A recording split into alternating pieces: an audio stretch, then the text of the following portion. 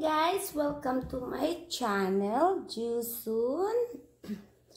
May nag-request kasi, someone requesting me to unbox or U-haul the NARS na binili ko from Hong Kong. So, we find out what's inside on this box. Nagamit ko na to guys sa Philippines, pero eh, may nag-request si Cherry Pie, si Cherry, Cherry Vlog. Hi, Cherry Vlog!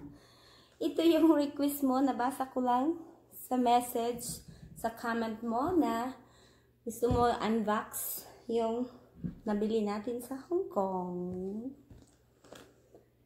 So, ito guys, ismula na natin, ano, ang nabili natin sa Hong Kong. Ito yung lipstick. Lipstick NARS. See? Kita ba? Yan, NARS. NARS. Ang ganda nito guys kasi ano to siya? May pag i-close mo siya, parang mayroon siyang, ang tawag nun, parang mayroon siyang uh, pandikit, yung, ang tawag yun, babe? Yung ano, magnet. parang magnetic siya. Ganyan, see? Ganyan, see? Hindi mo na kailangang i-push.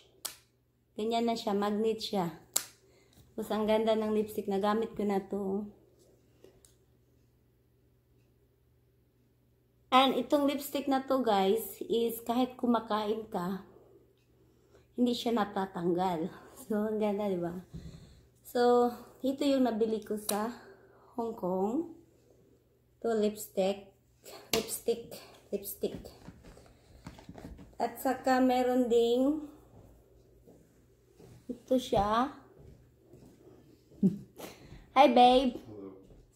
Ito siya, panglagay daw dito sa under yung, para yung sa eye bags. Ang laki ng eye bags ko kasi nag-adjust ako ng time guys. Kasi ngayon sa Philippines ngayon is, yung time sa Philippines ngayon is noon, 12 o'clock. So, in the afternoon, at dito naman sa USA, it's 11 p.m. So, maganda talaga to siya guys. Pag ilagay ko dito, hindi ako naglalagay kanina. Pag ilagay niya dito, mawala yung eye bags mo. Ito siya. Yan. At saka ito yung foundation. Maganda tong foundation guys. Super ganda talaga. Nagamit ko na din ito sa Philippines. So, ito yung foundation niya. Ito lang yung nabili ko guys. Itong tatlo. My God. Hindi na lang natin banggitin ang presyo kasi maano yun. Ah, oh my goodness! Kanya na ba kamahal? Ang mahal sa Hong Kong, di ba? Ang mahal talaga. So, dalawa kami ng nung na-meet ko na ati-ati ko doon, na-meet ko doon siya sa airport. So, nagpa-make up pa din siya doon. So, may, may free kami na bag. Ito, bag free to. So, yun guys. So, maganda talaga siya. In fairness, pero mahal. Ayaw ko nga bumili eh. Kung alam ko lang, so ayaw kong bumili kasi ano, hindi naman ako masyadong gusto sa mga mahal. Gusto ko yung mura kasi ayaw kong mag-spend ng pera sa ganong kamahal ng makeup. Yung, yung laging kong mini-makeup, yung nakita nyo sa, ano, sa mga live ko, yan, yung makeup na yun is only like $2. Pero kahit $2 siya guys, yung lagi kong uh, ginagamit, kahit $2 yung makeup na ginagamit ko. Practical kasi ako, eh. hindi ako mag-ano sa mga branded. Pero ito lang, first time ko to naging branded ng ganito. Kasi yung ate ko sabi, bili ka na, bili ka na. Yun. Nainganyo naman ako, bibili din ako. Ayan, pero masakit, kahit tatlo lang ito, masakit sa bulsa to eh. pero ganyan talaga. So, yan, you know, paminsan-minsan, kailangan mong ipamper yung sarili mo kahit minsan lang ganyan. Pero yung Rolex, hindi ko ma-afford yun. ma-afford man natin yung Rolex. Yes, ma-afford natin. Pero gusto ko yung iipon ko yung pera. Hindi ko igasto yung pera. Kasi mas, mas, mas gusto ko pang i- i-share yung pera na pambili ng Rolex sa ibang tao kaysa at least ma-share mo kaysa yung suot-suot mo lang gusto, uh, simple lang ako kay ganito lang yung ano yung mga relo ko, yung mga simple lang. Hindi naman ako, hindi ako materialistic na tao. Simple, simple life, happy life, ganyan lang. So, ganon, mag-shout out muna tayo kasi hindi ko na na-shout out ang kayo lahat, guys.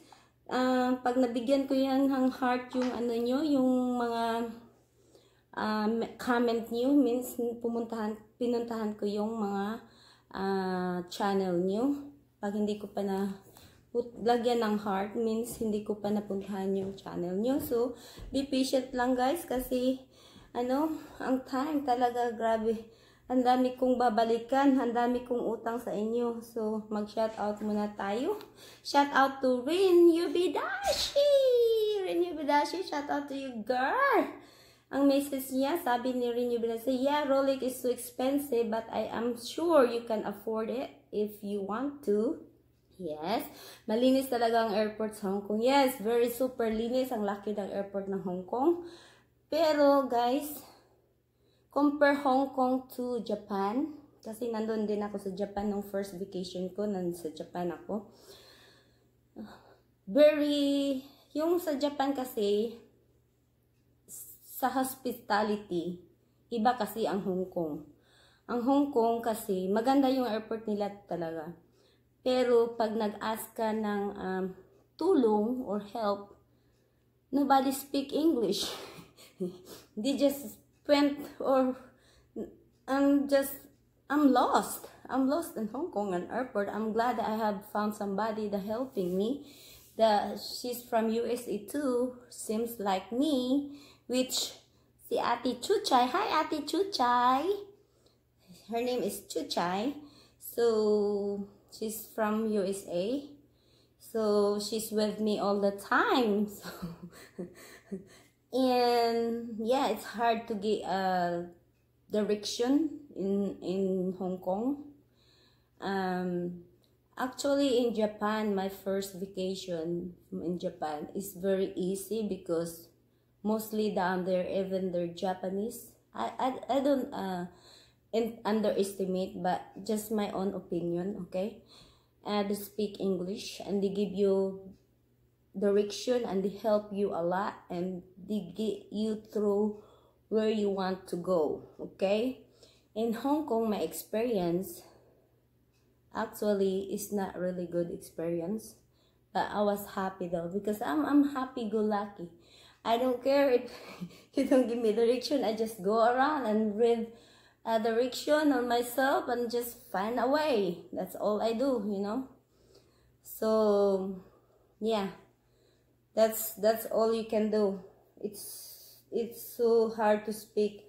And next time, if we go in Hong Kong, you should uh, change money because I bring a dollar I bring a, a US, you know, Philippine uh, money, uh, Philippine money, dollar. We bring a US money. And example, if you have, example, their menu is like a $150 or something. And you have no change. So, I tell, just tell them that keep the change because I don't need because I don't use that money in Hong Kong to the Philippines. So you can choose it so next time guys if you go vacation or you can just whatever you just use the card or you can exchange your money that's the best way to do my first time kasi it's my first time to go in Hong Kong. So at least my experience, you know. So yeah, people is different experience, different, you know. And if um shout out to Mang Kanor Midnight. Hello Mang Kanor Midnight. Cherry Vlog, ito yun si Cherry Vlog ang nag-udyok sa akin na mag yuhol ako nito. Kahit uh, na gamit ko na, I still unboxing for you. Cherry Vibes. Hello to you. Sabi ni Cherry Vibes, love ko din ang NARS. Oh, NARS Yuhol. Next video, sisi. Okay, ito na. Cherry, Cherry Vlogs. Um, ito nga pala si Cherry Vlogs, guys. Mayroon siyang mga pang-giveaways for whole year. Oh my goodness. Gugu tayo dyan. Sasali ako yan, Cherry Vlog. uh, Milay TV, shout out to you. Yeah, Hong Kong is one of the best airport. Pero ang on the latest muna, ang security is tight. Yes, kaya bawal muna magwalang flight, pag, pag walang, walang mga flight pumasok.